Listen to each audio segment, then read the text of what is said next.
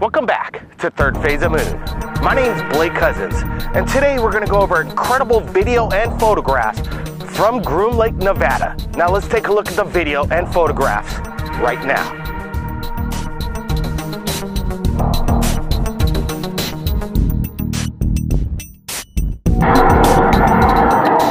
was this top secret military stealth aircraft called to intercept the UFO in the air above Area 51.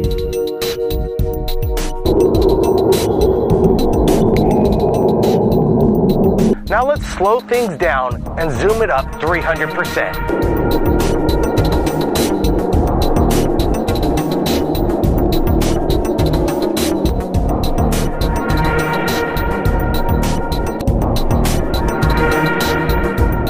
If you've captured anything amazing regarding UFOs, you could contact Third Phase of Moon via Skype or Facebook.